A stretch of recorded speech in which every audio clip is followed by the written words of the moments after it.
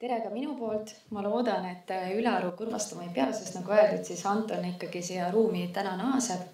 aga mul on hea meel teha siis koos teiega väike põige eh, ühiskonna ja sotsiaalpoliitika ajalukku ja kõnelda täna siis eh, saarlaste õigustest ja kohustustest ning seda siis võrdluses ojamaalaste õiguse ja saagaga võiks öelda, et Ojamaa ja Saaremaa, mida nimetatud ka sõsarsaarteks, olid kaks üsna isepäist saart kesk suuri võime. me teame, et kolmeteistkümnendaks sajandiks oli ka Ojamaa äh, Svea ehk Rootsi kuningavõimu võimusfääris, kuid seda üsna lõdvalt. ning äh, nende iga-aastane maks kuningale oli vaid nelikümmend hõbemarka ning jarlile lisaks siis kakskümmend hõbemarka Neil oli kohustus osaleda kuninga üleskutsel leedungitel, kuid äh, sealjuures pidi kuningas väga täpselt järgima, millal ta selle üleskutse tegi. see pidi juhtuma enne suvist pööripäeva ja mehed pidid tagasi olema augusti keskpaigaks, mis on ka täiesti loogiline, kui mõelda, mõelda siis äh, ruraalsele eluviisile. ja lisaks äh, võisid ojamaalased ka keelduda leedungil osalemast mida me teame, et nad ka tegid ja mitmel korral just nimelt äh, seoses üleskutsetega, mis puudutasid meie maid ja sealhulgas Saaremaad. ja ka juhul, kui ilm oli kehv ja tuul lihtsalt ei võimaldanud teel asumist, siis nad äh, võisid jääda koju ja hüvitist nad selle eest maksma ei pidanud. teisalt sajandi lõpuks siis taoline mõnevõrra leebe kord asendati iga-aastase maksuga ja me teame seda tuhande kahesaja kaheksakümne viienda aasta üriku põhjal, kus on ära defineeritud. rääkides aga vaimulikest isandatest, olid äh, ojamaalased Linköpingi piiskopkonna hoole all, kuid taaskord seda üsna lõdvalt seotuna ja lausa nii lõdvalt, et piiskopid mitmel korral paastidele kirjutasid ja kurtsid, et ojamaalased neile liiga madalat künnist maksavad huvitaval kombel aga paavstid piiskopi isandatele järgi ei andnud ja ojamaalased säilitasid oma siis eriõigused või madalad künnisetasud. ja miks ja kuidas me teame sellist asjaolude kohta, on lisaks siis erinevatele ürikutele, lepetele, kirjavahetusega paavstide ja piiskopide vahel on meil olemas selline varamu nagu Kuta saaga ehk ojamaalaste saaga. on oletatud, et see on kirja pandud tuhande kahesaja kahekümnendatel Andreas Sunesoni, kes oli siis Lundi peapiiskop ja tegi ka meie maal suuri tegusid, tema tuhande kahesaja seitsmenda aasta külaskäigu mõjutusel. ja ta on üsna lühike, ta koosneb ainult neljast osast ja ta on kirja pandud kohalikus dialektis ehk kutni keeles. ja on öeldud, et ta ei olegi justkui saaga, ta algab küll sellise poolmüütilise jutustusega Ojamaa loomisloost ja ojamaalaste siis sünnist aga ta läheb üsna pea väga detailseks ja bürokraatlikuks. ja kui me mõtleme, et saagasid loeti ette ja neid kuulati, siis seda võis olla mõneti tüütu üks hetk kuulata, kuna ta on niivõrd detailne, mis puudutab just nimelt kuninga ja piiskopi ning saare elanike vahekordi ja õigusi ja mis me sealt teame? teame, et ühel hetkel olevat saare elanike arv olnud nõnda suur, et tehti otsus iga kolmas mees saata saarelt välja ja need õnnetukesed äh, rändasid ühest kohast teise, kuni nad lõpuks siis jõudsid äh, üks hetk ka meie maile ehk Taagööle ehk Hiiumaale, kus siis saaga kirjapanemise hetkeks olevat, saaga kirjapanemise ajaks olevat väidetavalt siiani näha nende linnus, mis nad püstitanud. aga Hiiumaa siiski ei suutnud neile piisavat toidueesist pakkuda ja nad rändasid edasi ja edasi, kuni nad lõpuks jõudsid Bütsantsi välja aga Eesti on siis järelikult seal ikkagi mainimist juba leidnud ja kõik hiidlased saalis võivad rõõmustada. ja saaga moodustab siis omaette sellise sissejuhatuse ojamaalaste õigusele ehk kutalaagile, kus on kohe alguses ära defineeritud see äh, õiguse kogumik kui kristlik õiguse kogumik, äh, Ojamaa kui kristlik maa ja ojamaalased kui ristirahvas. ja mis siis on nüüd kõige olulisem sealt kaasa võtta, on ehk järgnev Kutalaagi järgi olid eristatud ojamaalased ja võõrad, see tähendab mitteojamaalased ning orjad. sellist seisuslikku eristust nagu vasallid ja nii edasi me seal ei kohta. hüvitise ja karistusena ei kasutatud ainult rahalisi trahve, vaid ka häbistamist, saarelt väljasaatmist ja mitmeid muid viise maa omamine ning selle pärandamine oli Ojamaal äärmiselt perekonnakeskne ja väga põhjalikult reglementeeritud. ja saarel mõisteti kohut siis kolmeastmelise äh, süsteemi järgi, sest saar olevat jagatud kolmeks ja iga kolmandiku all oli omakorda väiksem osa ja mida raskem ja suurem kuritegu, seda kõrgemaks läks kohtuaste ja vastavalt sellele ka siis kas hüvitis või karistus ja väga oluline roll oli sealjuures vande nõutamine ehk siis selline ühiskondliku, ühiskondliku õiglusmeele ja ühiskondliku arusaama pidev läbimäng ja rõhutamine. ja kohut mõistsid siis vanemad ja vanemate nõukogud. tulles nüüd Saaremaa juurde tagasi, Saaremaalt meil kahjuks sellist saagat ega õiguskogu säilinud tollest ajast ei ole, küll aga on meil kaks lepet, mida ma teiega põgusalt vaataksin nimelt me teame, et tuhande kahesaja neljakümne esimesel aastal sõlmisid saarlased koos Saksa orduga, mille eesotsas oli siis Andreas de Velmen, leppe, millele olid alla kirjutanud lisaks orduvendadele piiskop Asemikule, Läänemaa kontuurile ja teistele Läänemaa eestlaste vanemad ja suur hulk teisi. saarlasi seal allakirjutanute hulgas mainitud ei ole. aga ometi me teame, et kokku lepiti selles, et ilmalik kohtumõistmine Saaremaal ja saare aladel pidi käima siis äh, läbi ordufogti, kes pidi seda teostama saare maa vanemate ehk seniorumi nõu järgi.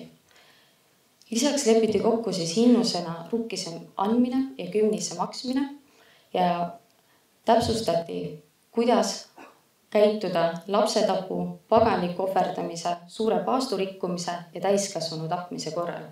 vaatame mõnda neist lähemalt ilmalik kohtumõistmine pidi käima Saaremaal kord aastas hinnuse kogumise ajal ja voogt, nagu öeldud, pidi seda tegema vanemate nõuandmist mööda. Guta Laagi ja hilisemate seaduste järgi, mis siis Ojamaal on välja antud, on oletatud sealset kolmeastmelist tingide süsteemi, kuid tegelikult täpne kogunemisaeg ja muud taolised detailid on meil siiani selguseta aga vanemate nõukogu funktsioon on väga sarnane. lapsetapp on saarlastel reguleeritud nii rahalise karistuse kui ka füüsilise karistusega. ehk siis äh, lapsetapu eest pidi andma kolm ooseringi ja õnnetu ema pidi saama ka üheksal pühapäeval surnuaia rooska, mis siis teenib selgelt sellist ilmselt uue kristliku tava juurutamist ühiskonnas sest et surnuaiad olid kirikute juures, kuhu koguneti, eks ole, ja see ilmselt pidi siis toimuma teiste silma all. Kutalaagis on üllataval kombel lapsetapp peale selle nentimist, et Ojamaa on kristlik maa ja Oja, ojamaalased on kristlik rahvas, lausa teine punkt. ja seal ei kaasnenud sellega küll füüsilist ja sellist avalikku häbistamist, küll aga kaasnes siis rahatrahv või rahahüvitis, mis oli siis kolm kuni kaksteist marka ehk siis kõige madalamal astmel kolm, siis sealt edasi kuus ja ülesaarelisel kohtumõistmisel siis võis karistus olla juba kaksteist marka. ja tapmine, tap- ehk siis täiskasvanu tapmine oli saarlastel karistatud kümne marga hõbedaga, sealjuures nii nende kui ka teistelt maalt pärit meeste tapmise eest. Kutalaagis on väga suur eristus aga Ojamaa ja võõramaalaste tapmise eest ehk siis kui tapeti Ojamaa mees, siis karistus selle eest oli kolm marka kulda. küll aga oli neil sarnane karistus nagu saarlastel teiste meeste puhul ehk siis ainult kümme marka hõbedat. paganiku ohverdamine oli taaskord reglementeeritud siis nii füüsilise kui ka rahalise hüvitusega Saaremaal ja sealjuures pidi nii ohverdaja kui ka ohverdamist tellinu maksma pool marka hõbedat kuid esimene sai lisaks kolm pühapäeva ka surnuajal keppi. Kutalaagis oli taaskord karistus äh, reguleeritud siis rahalise hüvitusega ja see ulatus siis kolmest kuni kaheteistkümne margani. ja nüüd viimane, siis suurepaastu rikkumine. Mm, saarlastel oli siis tõepoolest täpselt selles isegi lühikeses ürikus paika pandud, et suure paastu ajal liha söömise eest nad pidid taaskord kukrut kergendama ja maksma pool marka hõbedat ojamaalased äh, lihasöömisest ei kirjutanud, küll aga olles siiski kaupmeeste saar, oli seal reglementeeritud järgnev, ehk siis müüa võis vaid tol ajal hädavajalikku ehk sellist liigset tulu tol ajal ei võinud teenida ja, ja kaubamäärad siis fikseeriti ära. tehti küll kokkulepped, aga nii sujuvalt see ordu ja, ja saarlaste läbikäimine siiski ei läinud, saarlased äh, tõusid üles ja väidetavalt taganesid usust. Ja tuhande kahesaja viiekümne viiendal aastal tekkis vajadus sõlmida uus lepe, millega siis täpsustati neljakümne esimese aasta lepet. Ja seitsmendal augustil leppis siis Saksa ordu eesotsas Anno von Sangerhauseniga ja saarlastega, kusjuures siin puhul olid tõepoolest äh, kaheksa saarlast ka oma nime sinna ürikule alla kirjutanud ja me teame, et nad äh, andsid ka oma pitseri, mis te kahjuks näete, ei ole säilinud. ja nad leppisid kokku siis järgnevas, et nende segaste aegade ja olude taustal oli karistatav takkajärgi siis ainult tapmine, aga muu mitte ja nad täpsustasid oluliselt äh, viie punkti kaupa pärandi küsimusi, millest tuleb välja, et pärandi küsimustes oli Saaremaa suguvõsadel väga oluline eelisõigus maaisanda ees, välja arvatud pärandi pärast sooritatud sihiliku tapmise korral.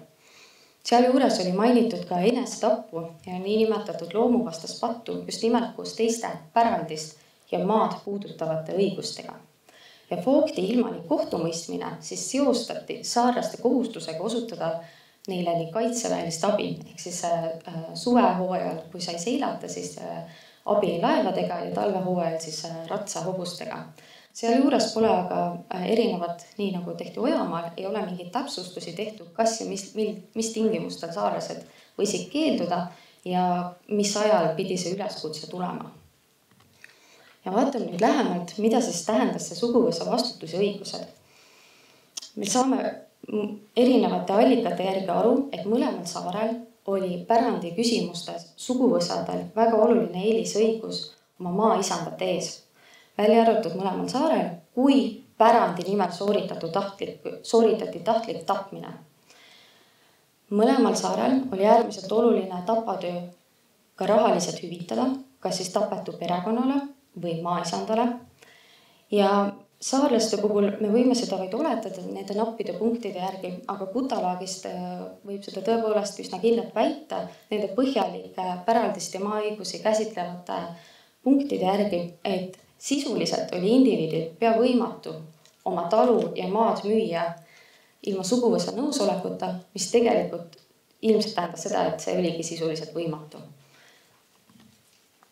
Ja nagu mainitud, siis äh, niinimetatud loomuvastane patt, mm, mis leidis viiekümne viienda aasta lepingus mainimist, on teine selle sihiliku tapmise korral, sihiliku tapmise juures, mille puhul maaisandal oli tege-, eelisõigus siis selle maa küsimuse osas ja tema pidi andma siis ähm, omapoolse nõusoleku, et tõepoolest, kes on sooritanud loomuvastase patu, siis tema pärandus Äh, läheb ainult maaisanda nõusolekul pärijale.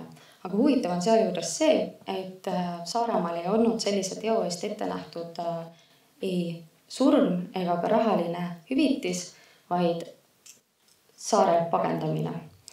Kutalaagis pole seda tõstatatud. samas on Kutalaagis väga-väga põhjalikult käsitletud nii naise vägistamist kui ka sunniviisiliselt abiellu sundimist ja sealjuures on tehtud muidugi väga oluline eristus orjataride, Ojamaa naiste ja võõramaa päritolu naiste vahel. aga siiski äh, kõikide puhul on selge see, et taolised teguviisid on olnud taunitud.